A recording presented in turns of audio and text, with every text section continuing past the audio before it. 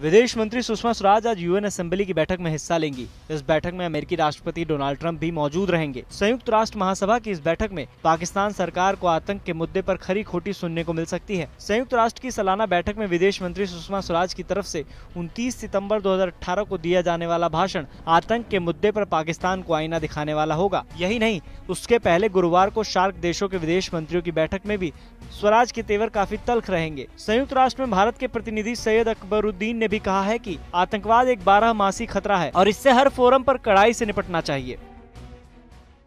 Terror will be addressed in strong terms in multiple fora this is a goal that we have been pursuing since 1996 when India introduce a draft of the CCIT which is the global convention to combat terror Uh, since then, the resonance has only increased. Yet, there are who do not want to for their own reasons, support such initiatives. Uh, increasingly, such countries are being isolated globally. Um, our hope is that the, this process of isolation of such countries will continue to be strengthened.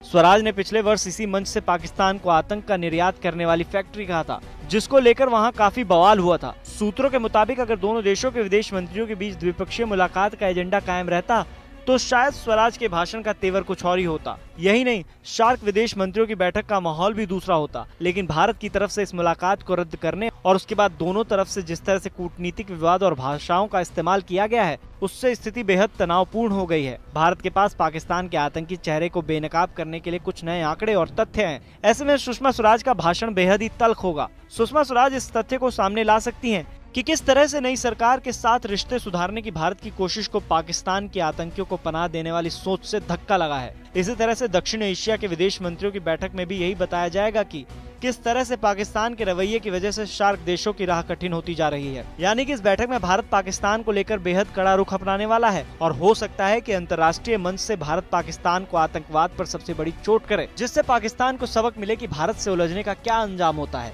Bureau